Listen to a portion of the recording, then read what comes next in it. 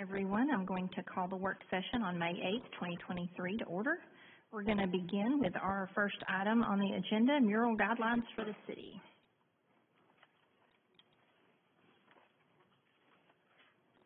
Uh, this is just going to be a brief introduction, and we're hoping to spend a little more time with you all on this in June, potentially at your next work session.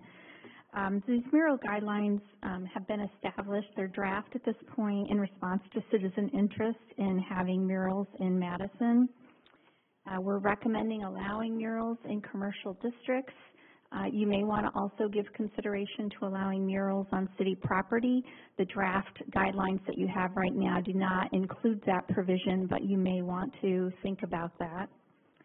Um, just in general, in terms of some of the highlights of these draft mural guidelines, uh, we're recommending no more than two murals per building. Um, they would need to be located on the sides or rear of buildings, except for, and mixed-use buildings in B1. um, there's consideration to allow them on the front of the building. So an example of that would be the Avenue building downtown uh, which is a fairly long expanse. Um, there's an interest in putting a mural there, but there's really no side or rear that would work um, for them. So building in some consideration for that. Uh, we're recommending the creation of a mural advisory board. There's ones that would take action on the murals. It would be a five-member board appointed by the council.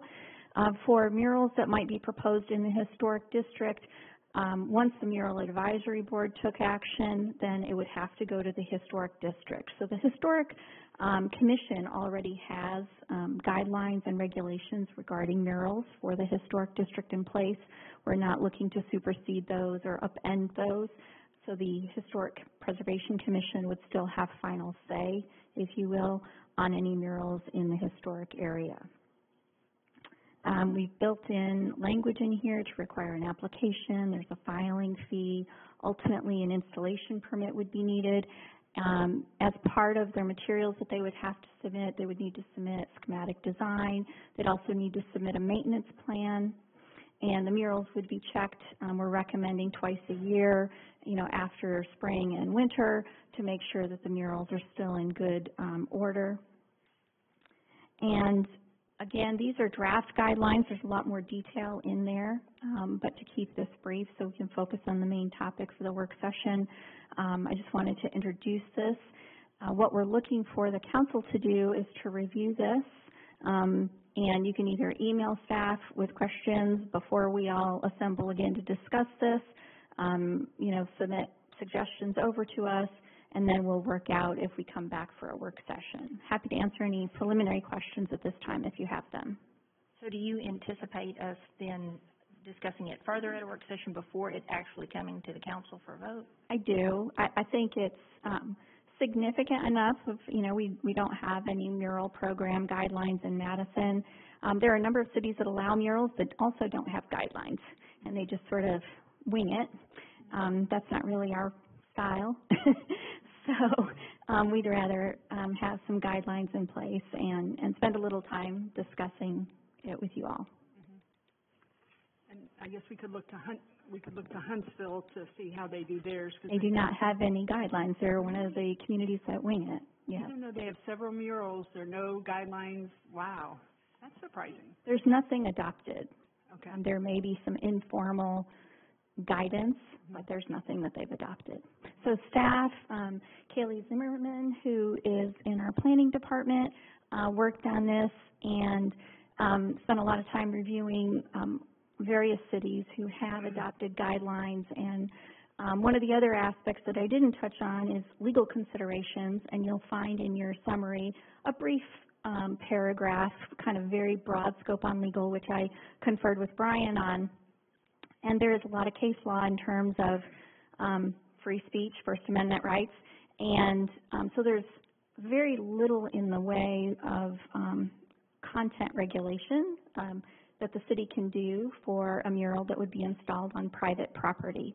If it's a mural that's allowed on public property, let's say in a building in Dublin Park, for example, you all can regulate that content. Um, but if it's something that got put on the side of a commercial building, you would not be able to regulate that content, except that um, there is uh, definitely case law that um, speaks to obscenity and not allowing obscenity. Um, but in terms of, you know, what got included in the mural, um, that, that is severely restricted by the courts in terms of what you all can do. So that's something that I think we would dive into a little bit more in a work session. Uh, Brian's been given a copy of these. He's going to be looking at it as, al- as well, just to make sure that it passes legal muster, or it would. Um, but you, some of you may recall, in 2018, the city adopted um, the updated sign guidelines, and that was in response to the Supreme Court decision, um, Gilbert versus Reed, in which the Supreme Court ruled that cities could not effectively regulate content. And so um, we went through and updated our sign regulations uh, in 2018 in response to that Supreme Court case. So we feel really comfortable with our sign regulations. We want to make sure any mural guidelines that you would adopt would also pass any kind of legal muster. If we put this on the agenda for the June work session, would that meet the timeline that you're trying to? Yes, that would, that would be fine. We know of uh, one group that's looking to try and do a mural, but realistically, that might happen in the fall. Um, we're not expecting to be inundated with requests for these, but we have from time to time gotten requests of people who would like to do them. And, and currently, except for in our downtown, you know, our answer is they're not allowed. Anybody else have any questions? All right, thank you, Mary Beth. Thank you. Okay, and next we have a science museum proposal. Uh, are you gonna introduce this? So thanks for having the work session tonight so we can talk about this. All I'm looking for tonight, would just like to share some information with you guys to see if this is something you guys would like to pursue. Uh, I'm not asking for approval of the museum. I'm not asking for anything other than a head nod to allow Mayor and I to negotiate with uh, Joe and his team to uh, bring them on board and provide Madison City a science museum. So a little bit about Joe. Uh, he's been a teacher. He's been uh, he's been in marketing. He's worked with uh, Make a Wish and United Way. He's been a lobbyist. He's been on a special Senate banking subcommittee that was tasked to fixing the savings and loan crisis of 1989. He uh, created a, a children's magazine for dinosaurs. He's worked with Universal Pictures with the Jurassic Park Institute, a program that was used over 35,000 uh, teachers and 22 million students and their families. He went on to create museum exhibits and displays around the world, co-produced an award-winning documentary, and he's founded three science festivals in collaboration with the MIT Science Festival Alliance, and this includes the Alabama Science Festival that uh, recently drew 7,200 members over at the Von Braun Civic Center that uh, Huntsville Madison supported. So he's got the experience. He came to us about a year ago looking for space. At first, we didn't have any space for him, but then once we purchased Hexagon, we figured we make and make some space for him. So I'd just like for him to present his information, his vision, and then uh, let you guys ask some questions, and then we'll just kind of go from there. So, Joe? Thank you, Mr. Mayor and council members, for giving me the opportunity to chat a little bit about this. Um, people ask me, quick anecdote, why do I want to do this? What, what drives me to do museum exhibits, do the Alabama Science Festival? We're a nonprofit. I don't really make anything from it. Um, I play with model trains in my downtime. But about 10 years ago, um, I was living in one of the poorest communities in the United States in the very south part of the big island of Hawaii. And I was working with the science festival there that I started. And um, the University of Hawaii said, hey, we can, we're doing this program up on the slopes of Mauna Kea, and we're going to help reforest, and we're tagging some birds. And they have critically endangered bird species there. The, uh, most of the native species are going extinct. So we found 10 kids from the local school there. We took them on a three-day program that the university paid for. They got to plant trees that were going extinct. They got to catch in little nets um, endangered species of birds, hold them in their hands after they were tagged, and release them. On the way up there, we had this old rickety 15-passenger van. The kids were complaining about, you know, hey, you know, this is, my mom made me do this. On the way back, they were all talking about, how do I learn more about this? How do I become a scientist? we literally had kids say, I want to be a scientist. These were kids who had no exposure to this kind of thing. That's why I do what we're doing here. When I see the thousands of families at the science festival here, I can see the need and the hunger for this kind of a, a science museum, one that this community is really the one that should have it. And um, so when I've been talking to Mayor Finley and his office about this, I thought this is the perfect location. Um, let's see. Turned on, sometimes you gotta turn the thing, so. Ah, there we go. That helps. Okay, so we want to bring a museum that does everything about science. We're not going to compete with the Space and Rocket Center. They do what they do better than any place else on the planet. But there's a lot of science besides that. So um, what we want to do is create a museum that inspires. We want to have people come to the museum and see science presented, science facts, science ideas, not all science is settled science, and let them, you know, show them creative thinking, critical thinking on how a scientist works. To be a, a, a true centerpiece for immersive science and education here in Madison, your city is growing like crazy. Most museums in this size community can draw anywhere from 100,000 to 300,000 people a year. And a lot of those will be out-of-state visitors who come through. And we'll get spillover from Huntsville, but a lot of people will make this a destination. The best example I can give you is in the very small community of Drumheller, Canada in Alberta. The city itself is 8,000 people. They got about 20,000 visitors. Then they built the um, Badlands Dinosaur Museum there. They now average 350 to 400,000 visitors a year in this little tiny city. It's been a huge boom. These are some of the sciences that we'll cover. Um, we've got Dr., or, or actually Professor Hochsbergen from UAH, who is also the base archaeologist for Redstone Arsenal. He's an Army employee, and he does archaeology. They just logged in their 1,000th archaeological site on the arsenal.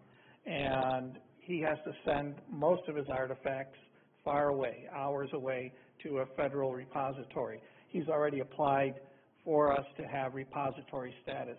So we'll be able to house at the Madison Science Museum local artifacts that people can't, simply can't see. And it's amazing stuff. Um, I don't know how many of you know that we had saber-toothed cats and giant ground sloths roaming around right here 13, 14,000 years ago. We will adopt a public museum model where we will have a suggested admission, but we do not exclude anybody. In these types of models, most people will pay. Only 10 to 15 percent will ask for a reduced fee or a free admission. And that's fine, because everything has to be accessible.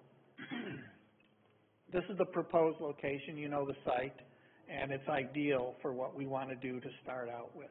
Ideally, you'll see how incredibly successful we are, and we can find a permanent location down the road.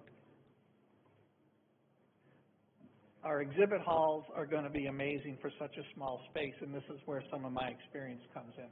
I learned museum exhibit design from theme park attraction designers working at Universal. So I know how to make things immersive, how to draw visitors in, make them want to learn and learn more about what they're seeing.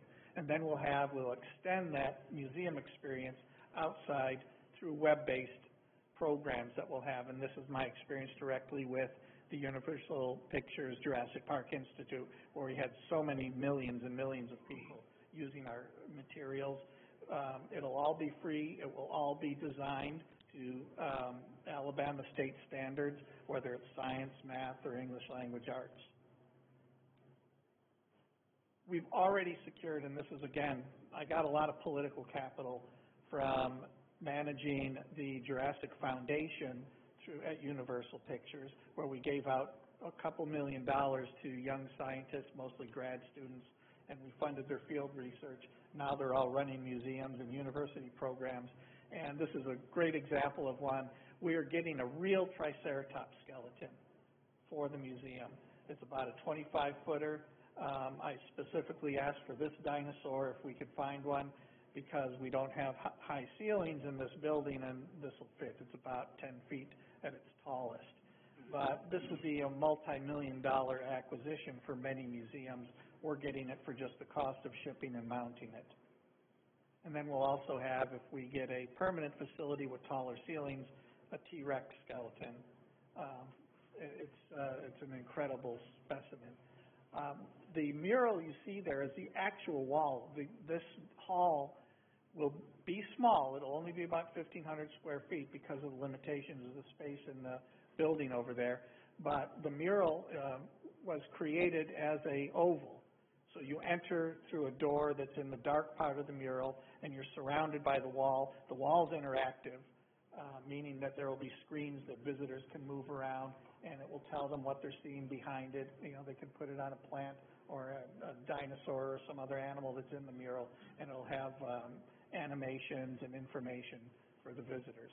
And this artist has done um, the new dinosaur hall illustrations at the Smithsonian Museum. He's done them for the um, uh, the Houston Museum of Natural Science, where I did a big exhibit about a dinosaur. I, yeah, I'm kind of a dinosaur geek. but um, so we're really uh, fortunate to have. I already have that mural, and uh, that won't be a cost other than printing for it. The benefits of a museum to a community are legion. It creates millions of dollars in revenue into the community. Um, 100,000 visitors a year will tend to spend on average in the community about $30 on, uh, each. And that's in dining and shopping and, and the, um, other things. So most visitors who travel more than 30 minutes will go to local shops and restaurants. We estimate, and I think this is a very conservative estimate, that in year one, we'll get half a million dollars in local revenues. And then by year five, millions of dollars. Second tier is obviously people discover, my wife and I found J. Alexander's. And we've gone back there a number of times just for their key lime pie. But, um, it's, uh, you know, people find things that they didn't know existed. And that's a wonderful benefit of having a museum. It is a destination. Um, this is really important because again, this speaks to our team. We've got a NASA scientist there and he works with, Eli works with the uh, IMPACT program, which is an earth sciences program that is often overlooked because they're not firing rockets and spacemen up. And they are committed to working with us. We've got wonderful letters of commitment to them working with us, and we will have, because of their profile in the international community for climate and environment, we'll have a uh, annual program here that will draw, I'm certain, many hundreds, if not upwards of a thousand scientists and researchers to Madison for these programs that will be hosted out of the museum. Obviously, we won't squeeze everybody into the actual space. We'll use other uh, venues around Madison for that. Um, and these types of attendees spend significant money, and that's, a, again, a very conservative estimate of $407 a day on average, two and a half days for each program. This is a really cool thing. Because of the Science Festival, because of the relationships we've developed, uh, the Missile Defense Agency has been a big supporter of ours.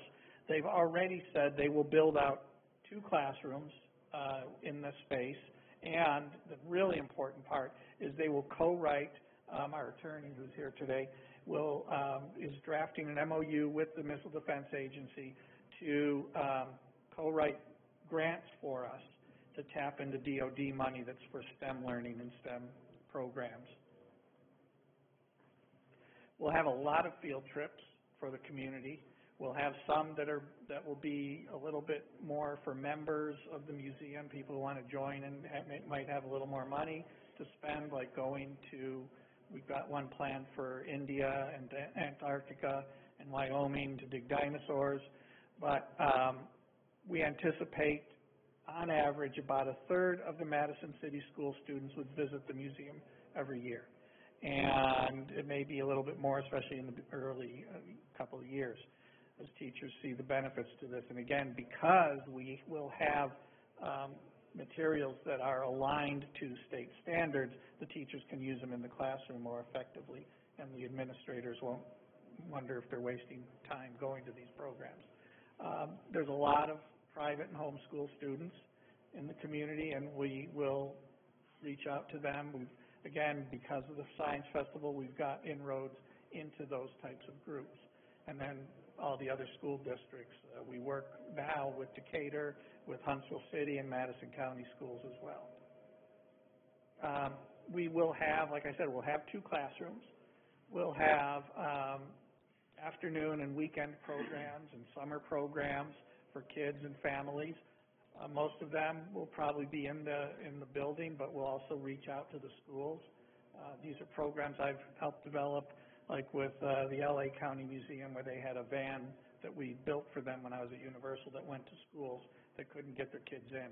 And we do anticipate grant monies that will pay for transportation to the museum for school kids. Um, we have great relationship with UAH. I've met with Dr. Karr, the president of the university. He's pledged his support. He's actually inundated me with department heads who want to participate in providing content for the museum and programs for the museum. Um, the library has an incredible archive, and they said, oh yeah, we'll rotate things out. And keeping content fresh in a museum is important because it keeps people coming back.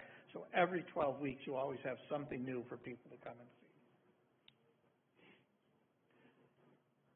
So most museums get some kind of municipal support, but only 56% get actual cash money from the municipalities.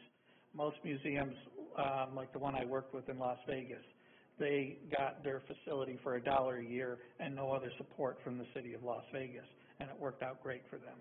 They had an old, in fact, it was the old City Hall building in Las Vegas, and they started with a bunch of stuffed animals. Museums are a huge contributor to economies all around the, the world, especially in the United States. Um, lots of tax revenues from museums. Museums create jobs. We anticipate anywhere from 15 to 20 full-time jobs within the first year. The public overwhelmingly supports museums everybody thinks a museum is a good thing to have in the community, and they look at it very highly. Most people believe it contributes economically, and 96%, these are all, by the way, the studies are, are referenced there that these come from. This is all historical data that's being, been collected for over decades, that um, people think people, that legislators who support museums are great people. So these are some of the people that we, the partners, I talked about the NASA symposium already. Um, they're very excited to work with us. The other conferences and seminars we'll have, um, going to the Indus Valley in India, we're planning that in the um, spring of 2024. Um, I'm sorry, no, the spring of 2024. We've already got a partnership scheduled with the University of Arkansas because that is when on April 24th we'll have a full eclipse and that's one of the locations where it'll be in totality for over two minutes. So we're going to try and get people there. These are some of the companies and organizations that are already expressing in, incredible support for what we're doing. They're chopping at the bit. I've kind of got them on a rein almost to, you know, tell them, wait, you know, we have steps to do before we move forward too much. But these are all organizations that I've worked with and that really want to see this happen. And I think it'll be great to have them participating in something here in Madison and, um, you know, having programs and uh, that they can come to and be appreciated for their contributions to the museum. And there's our sources, and I'd be happy to answer any questions.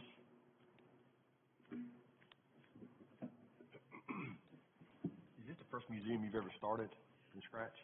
Um, I helped start two very small museums, one in St. George, Utah, and one in Montana. I was not the founder, but the one in Utah, um, a friend of mine who's a Utah State paleontologist, Dr. Jim Kirkland, approached me and said, I know you were a lobbyist, and can you help us get some federal money? And I went to Senator Orrin Hatch, um, and, um, said, hey, you know, we're in your state, this is a great thing, and he got a half a million dollars for the facility.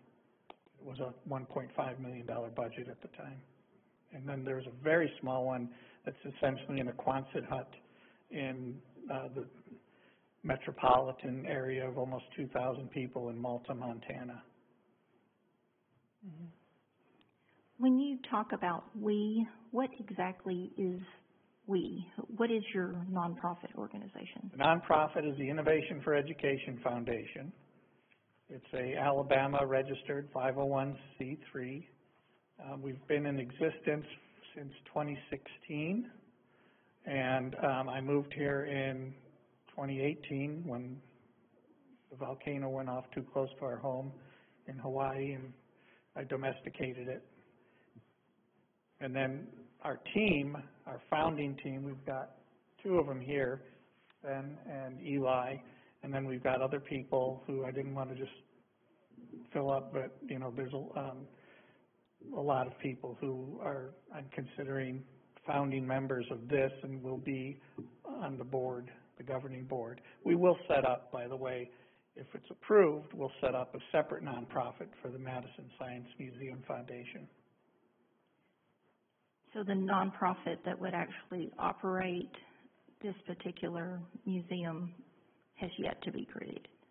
Um, right now, our foundation, there is a nonprofit operating it, and we would transfer its operations once we file.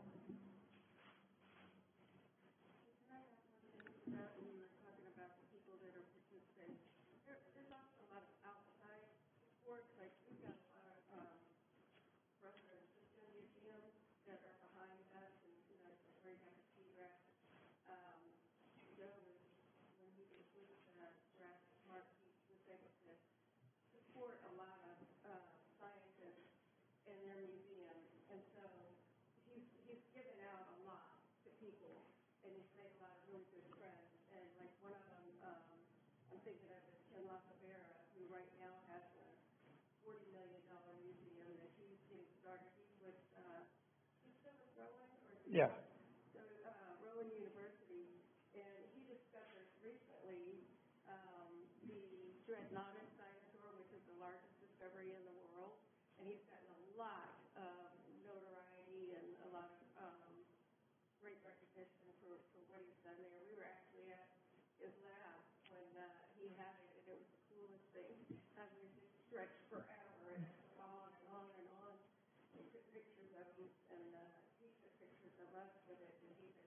taken your pictures yet until it's released to the public. So it wasn't long before it was on the front page of the New York Times, and then he sent us our pictures. But he, he is a strong, strong partner, great friend.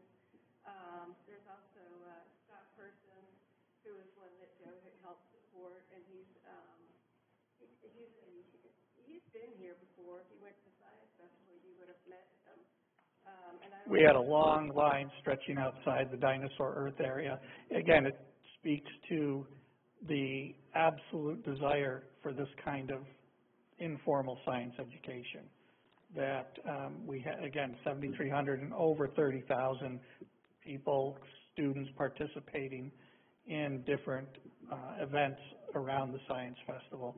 We distributed, I think, ten thousand, uh, postcards to space, um, that uh, through the Madison City Schools, and I think it was your missus who helped with that. Mm, no. Um, can I pull on this thread that you started in one of your slides? You talked about. I'm sorry, I- Yeah, Yeah. probably, I did my yeah, maybe so.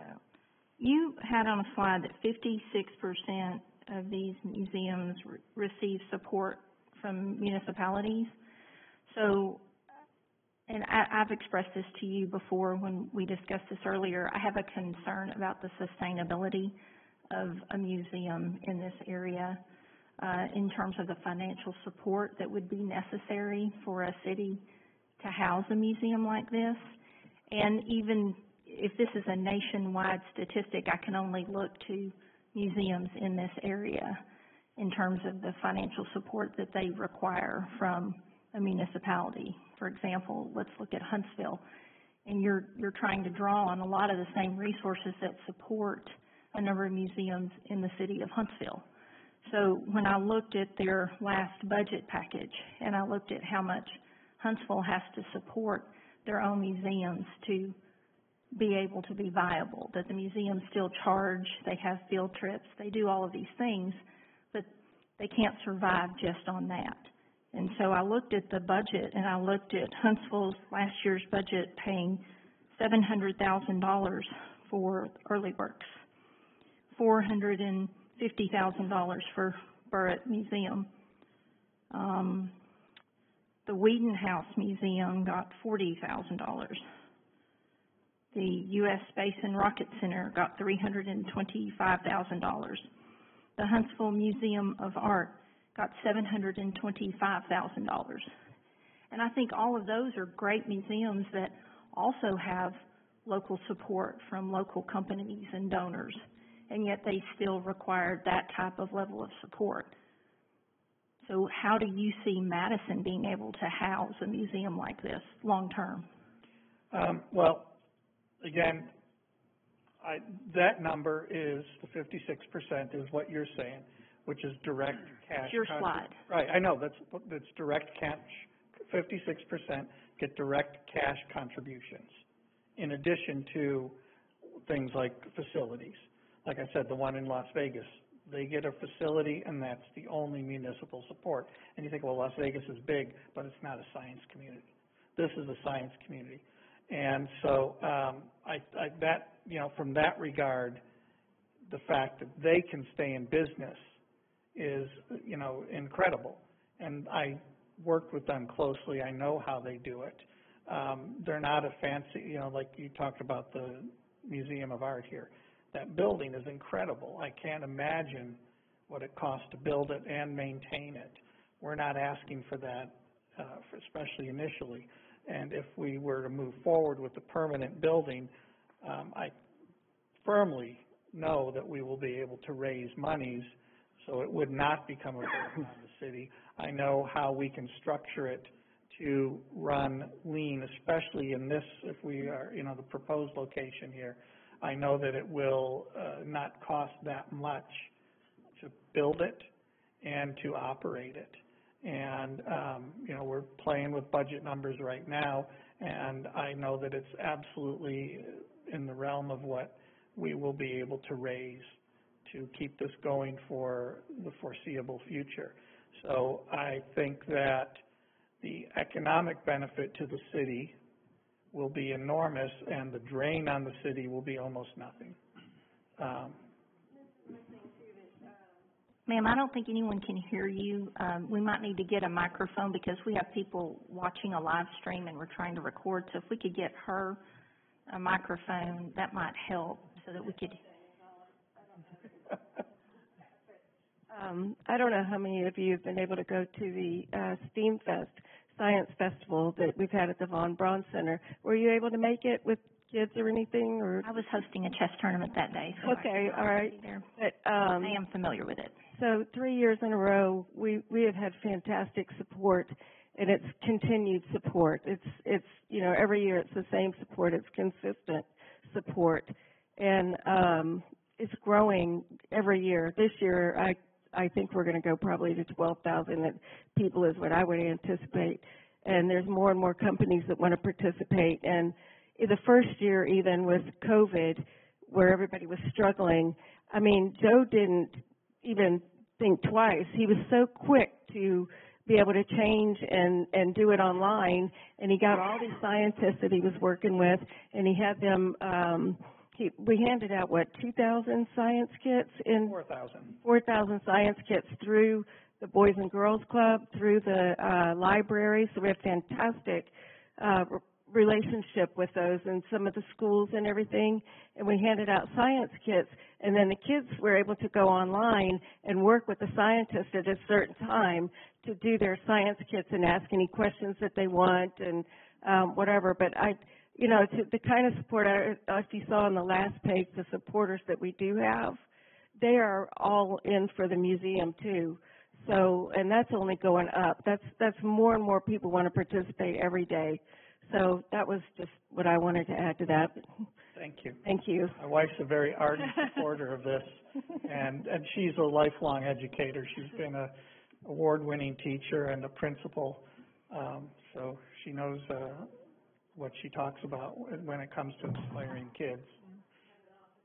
But anyway, um, so, Council, do you have other questions? I'm sorry, I'm trying not to. I just wanted to ask, so just to confirm, you're not asking for any financial support, you just need temporary housing the facility, yes. facility, and, and I wanted to ask either the mayor or president or the chiefs that are here, I know that we have plans to put our first responders in that building, and I wanted to make sure that fire and police had the amount of space that they needed, so that if we didn't put the science museum there, this space in effect would be empty and, and nothing would be there. Is that correct? Or could be leased for some other reason. Steve's nodding his head, but I'll say yes, that's correct. Okay, thank you, thank you. That, that was the only question I had. Okay, before when we talked, we had a meeting, and I told you I would want to know business case for this. Is this a viable business? You Yes. stated that this is a nonprofit, and I understand it's a nonprofit, but even nonprofits have business cases so that they can explain their viability to investors. Do you have any of those numbers or data for us to look at? Not today. Um, I do have projections, for example, we anticipate six hundred thousand dollars in, um, admission revenues. We anticipate about another two hundred and fifty thousand dollars in, um, revenues from field programs and expeditions. That's after you exist. In order to get to the point where you do exist, there is capital outlay. Correct. When the Cooks Museum started, the first thing that happened was the Cook family gave five million dollars to the museum as an initial capital outlay so that they would have money to buy paint, light bulbs, hire people to hang murals, all of those things. Those things all have to happen before the first admission is paid. Our initial budget to build the museum out on the inside is about one point five million dollars. Where does that money come from? Um, a lot of those companies and organizations you saw up there uh, are literally asking me, when can we begin to give money and how much will you need? And, on some of them, right here, NASA says, NASA can't provide direct financial support. Correct. In one of the letters that you have in your packet. How many of those names up there have told you, I will write you a check? Not, I will support you, because I will support you all day long, but you're not getting a dime. I mean, there's, you know what I'm saying? Sure. No, Blue Origin, um, they support us, our science festival, through the, um, their nonprofit, the Club for the Future. Uh, for, I've talked with Larry Powell, who's one of the directors here, um, for Blue Origin, and he is working with us for a significant investment from Blue Origin themselves, not their nonprofit. I also have a really great friend who just became a executive with Amazon who's going to pressure the boss there to give even more for the museum startup. Um, we have the Missile Defense Agency, we're going to fast track grant monies for that. That can happen within a matter of months, that we would have significant dollars, and that is potentially millions the, the grants for the, that are available through the Department of Defense programs are incredible. The same thing with NOAA the- and the National Weather Service. Their grants are in the six to seven figure range. I'm And- and- familiar with all those grants, Right. but you haven't received any of those grants. No, uh, that's the chicken and the egg. So, I, I haven't Yes, even got a I building. think we're a little bit premature in getting a building when you don't have a plan on how to support that building. And I, this looks wonderful. It looks amazing. But until I can see that you have actually sat down and figured out what the finances are and what the capital outlay is gonna be before you can open your doors, I, I can't commit on a hope and a prayer. I can't commit. I need an actionable business plan. That's what I need. But what Joe's saying though, he can't go out and ask for money until he knows he's got some type of agreement for the museum. I mean, he was talking to people earlier, You can get a commitment from somebody, a pledge. okay, but, but he was That talking, to- happens all the he was time. talking to people earlier about the potential for the museum, and then word got out, and then he got in trouble because he was talking about the museum that hadn't been approved yet. So, as we work through the, if you guys had not the agreement, as we work through, through the agreement, and we feel like it's gonna be passed, then that gives him the ability to go out and provide that info, get that information and bring back, when we bring the agreement, okay, here's the agreement, if it passes, Joe's got six companies willing to give two million dollars upon passing. But at this stage right here, he's, he is not capable of going out to raise that money. What about like a conditional agreement, that you have X number of months to kind of bring us letters of support that say, Uh, But so, you still need a business case I, and a I agree, business I agree, plan. I agree. You need to know how many employees you're gonna need. You need to know, But it all starts with, you need to know you got a facility to do that. So, not necessarily.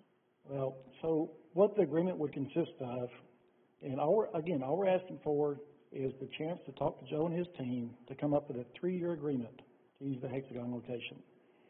And in that three years, if he does not raise the funds, raise the support to have a standalone building, and the agreement, it, you know, expires. I still have a hard time with the fact that you can't come up with a business case. You can come up with all these detailed drawings of what all of the exhibits will look like. How many people will it take to man this museum? How many employees are you gonna need to scrub the He already said toilet? sixteen. All of those things need to be in a business plan. How will you pay for those people? What is your, what are Right. your outlays And, gonna and we be? talked about, hold on, hold on, hold on, we talked about that. I get to go first. What's your concern with that? So when you say that, I, and and I'm trying to understand, because I, I hear, I'm listening to you. To get a, it's the chicken and the egg, so if you come together, what, when you don't have a business plan, what's your concern? My concern, It's not gonna cost you anything with it, with, other than giving him the ability for one, two, three years, whatever, we, to get to that point where he can show you that, to have a go, no-go, kinda like what Maura was saying. So I hear you. you say that it's not gonna cost us anything, but that facility and the use of that facility has value. It could be rented to someone else for some amount of money. So that is value that the city is giving. I understand Connie's concern and, and somewhat agree with it. I mean, what we have right now is a hope and not a plan. And, you know, businesses aren't made on hope. Nonprofits aren't made on hope. I mean, it's just, that's, you know, it's a little difficult to grasp. I'm not saying it's a no, but for me personally, think it's a no right now because there's some, some really crucial questions that haven't been answered. Who's the curator? Do you have any curator experience? You know, who, who are your, your, you're a curator? Okay, cause, but I mean, have you curated a museum? Okay, what museum? Is it still successful? Those kind of things. We don't, we don't have any of that. And I understand the chicken or the egg thing, right, I, I got that, but I think that's what this presentation, to me, so I haven't, I haven't met with you, and that's kind of what I was looking for in this presentation. Um, and I, I, you know, one of the slides I saw all the different sciences that are on there. Um, and to me, you know, it's, if, if you're in a business, right, you're in a, if you're in construction business, I may be in the construction business, but I am in the electrical business. And just because I do electrical doesn't mean I'm starting out doing electrical, plumbing, you know, and this and that. I mean, you have to focus, and I, I guess for me, that's what I see. So right now, I see hope, and Well, keep in mind too, I mean, Connie raised a lot of these questions when we met, and we've, we've got forty minutes at best tonight to talk about this. So we got to keep things simple, give you that, the high view of it, and see if it's something you guys feel like will bring value to our city. And if it is, give us time to negotiate, and while we negotiate, we can get this information. So when it comes back, when the agreement comes to you guys, you've got an agreement, oh, and here's the commitments that we've received in this, you know, the past several weeks. well, And at so- that point, if it's all presented, then, I mean, there's a step in between, uh, it sounds like that they- they've gotta have more information, at least they got to this point. We need to collect all of the concerns and questions, give them a chance to put the phase two pieces in place. And then, once we get an approval at that point, we can look to negotiate. and that's what I was hoping for tonight, Get more is information, I mean, getting the concerns that we need to address as we work through with the agreement. Well, and one of mine on the agreement side is, you know, if we, if we were to go with this, we're going a three-year agreement, right? Correct. It's, you know, it's free. Um, so, do, would, would you be willing to sign up for a ten-year agreement? Three of ours, seven of yours, if you move, you pay all the, the rent back? Sure. I mean, so those are kind of some things that I'm looking If he moves or moves outside Madison. Can you, if can you you, outside of Madison. can you address that part that you talked about in, after this three-year period and it's successful, what your plan was in the Madison, town Madison area? You able to share that, that idea? So We've got thirty acres around the quarry, uh, that would be a potential landing spot. Mm-hmm. So Raise you're gonna move from one city property to another city property. Again, it's, it's just potential, that's not planned out, it's potential. They potential. outgrow the current one and they need more space.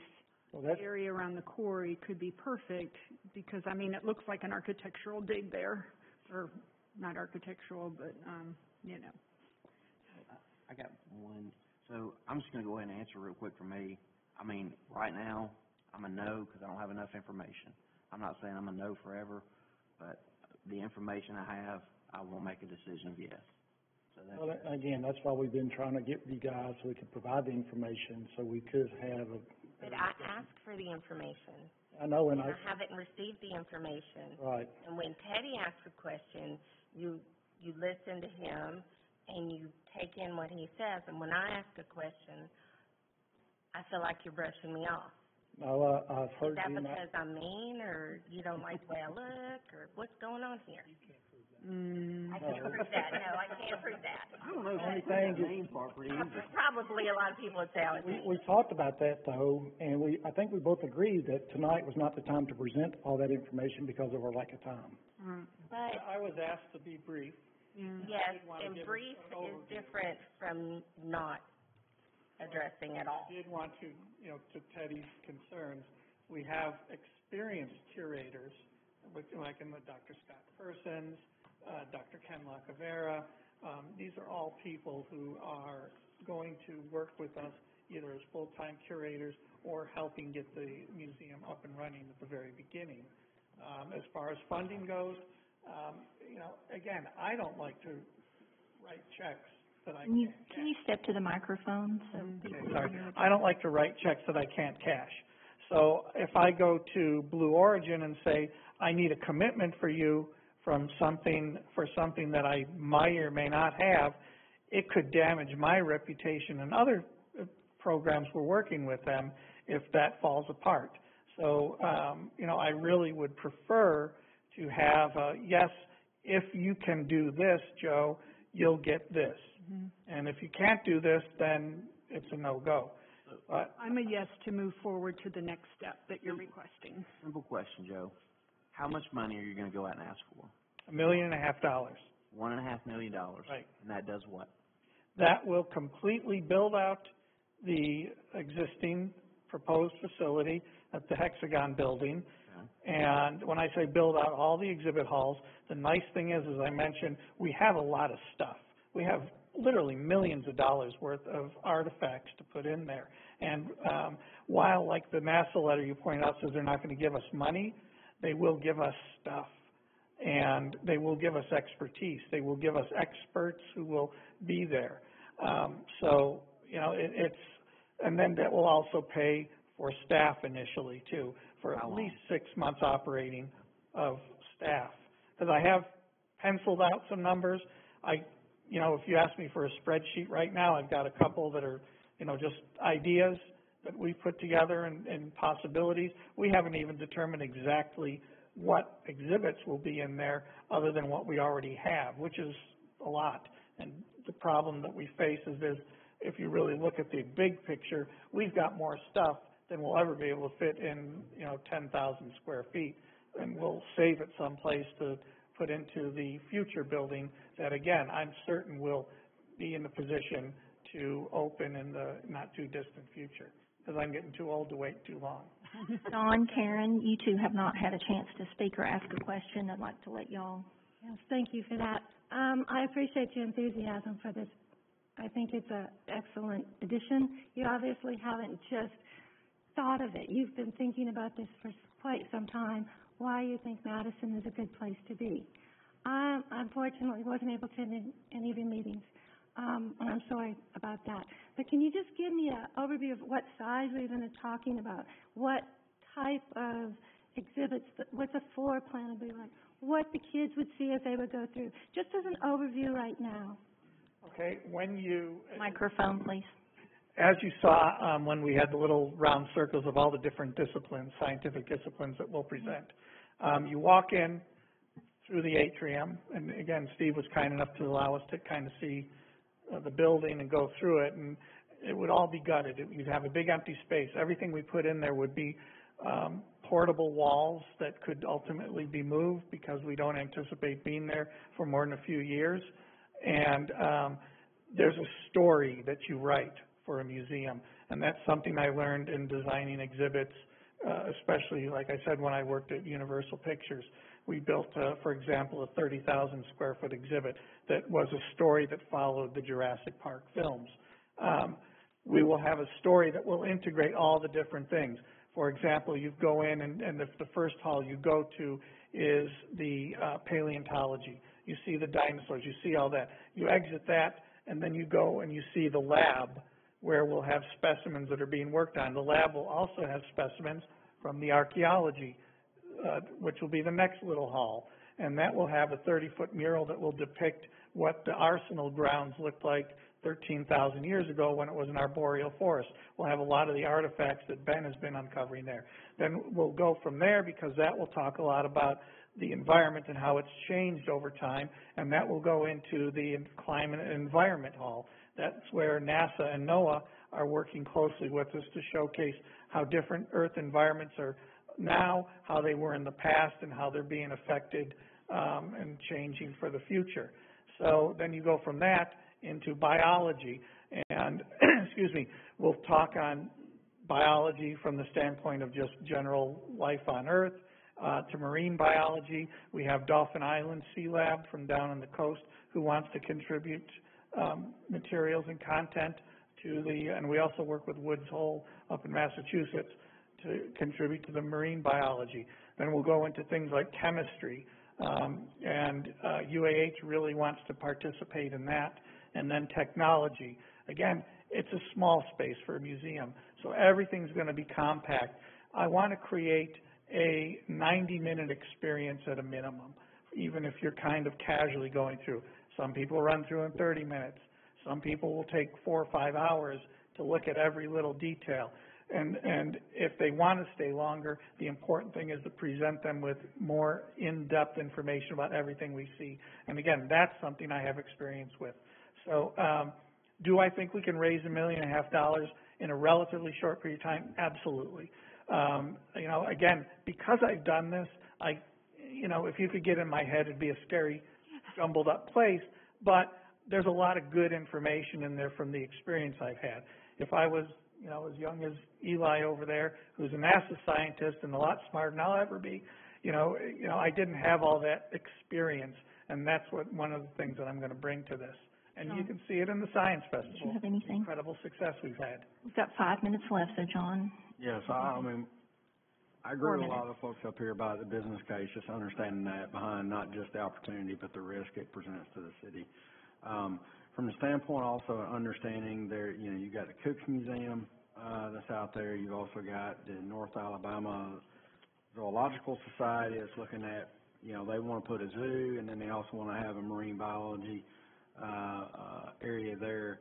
How do you see this facility either partnering or competing with those, and what would be your plan to either take advantage of that or mitigate that? We actually work with the, the Zoological Society, and I hope to God that they'll be able to get together what they're doing. Because in Las Vegas, for example, we worked really closely with the shark reef attraction at the Monterey, at the Mandalay Bay, um, facility. And their aquarist was our aquarist, and he took care of the live animals there. And I can absolutely see, uh, the Zoological Society, even before they're built, and they're many years away, I think, from having a, a zoo, but they do have animals and stuff, and we love when they bring them to our science festival and people get to interact with them and see all that. Thank you. What kind of timeline are we talking about as far as you putting together plans and getting together the money and when we need to make decisions, Steve?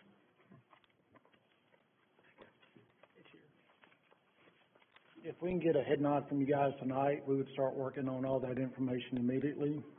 Uh, timeline, it just depends on how quickly he can get some letters of commitment and us come to terms that all of you guys need to see on that agreement. So we wouldn't try to rush it through, we'll take our time, we'll, we'll make sure your needs and your questions are met, we'll make sure the money's met, and then come forward. It may be a month, it may be two months. Okay. So not really tying up the space that somebody else might get just because you're answering questions here. Is that correct? Well, I guess from my standpoint, the only sense of urgency I have is I like to go in and start getting that building designed for our first responders and our fire station. And I like to, if we're gonna move forward with, with the museum, I like to have them kind of take care of their part as we're taking care of our part. And I like to have the same architect do both parts at the same time. I'm a yes going forward. I know, Within, I know they, they, it's, they need to meet, it's about six o'clock, so they're about out of time, so. we do, we only have two minutes left and we do need to take a break We'll get before you- we start at six. Thank you for your time and presenting and for bringing it to us, and we're gonna get more information for them and for you and continue to work all right, thank you. towards a conclusion one way or the other. Thank you, much. we're gonna adjourn for two minutes.